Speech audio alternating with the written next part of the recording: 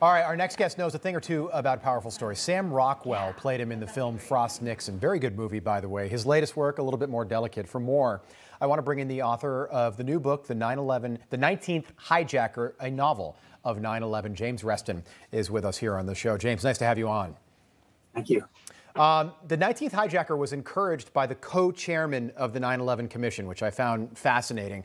Um, the motivation was basically to expose the motivations behind the terrorist attacks of 9/11. Um, does this get us closer to why did these attacks happen? Why did they attack us? Well, it it gets you closer to one case, uh, the case of the terrorist pilot who brought the plane down in Shanksville, Pennsylvania.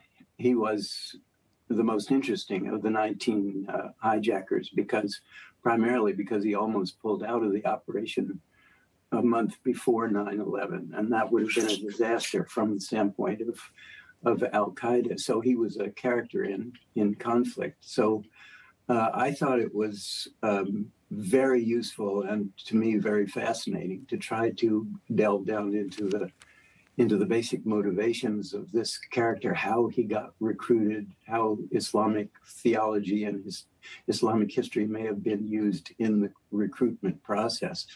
Um, all of that had to be imagined, of course, because all the hijackers, uh, thank goodness, are dead. Uh, but um, I think there is some usefulness behind trying to tell a great uh, story uh, in understanding how these people were motivated because ultimately the question is how do we protect ourselves? Does the book make now? any conclusions about I, have heard you say before um, you're asking are you trying to prevent future attacks? Um, the book gives us an idea of who these people actually were uh, and i think the, the common notion is that these hijackers were all monsters. Where are you yes. well well, certainly that has been the attitude of the American people uh, for the last 15 years, uh, certainly, or maybe the last uh, 20 years for, for obvious reasons. Uh, but once you proclaim somebody to be a monster, there's really no way to uh, look into the way in which uh, that particular person evolved into a status of, of being an evil and horrible horrible person. And we need to move the, the um, dial back a little bit from the actual act to try to understand how these people are recruited, how their mindset develops. And, uh, and I think that, that would help in the general process of protection. Yeah. Yeah, and, and, and the radicalization process, which is you know which is is tragic and fascinating at the same time. Uh, James Reston, so nice having you on the show. Um, we appreciate it.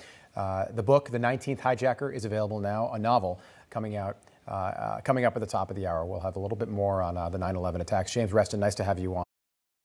Hey, I'm Rob Finnerty. Thanks for watching. If you enjoyed this video, please join the conversation in the comments below. Don't forget to subscribe, too. Hit the bell icon to be alerted to breaking news. And remember, there's a whole lot more on Newsmax TV, America's fastest growing cable news network. Newsmax TV, where real news for real people.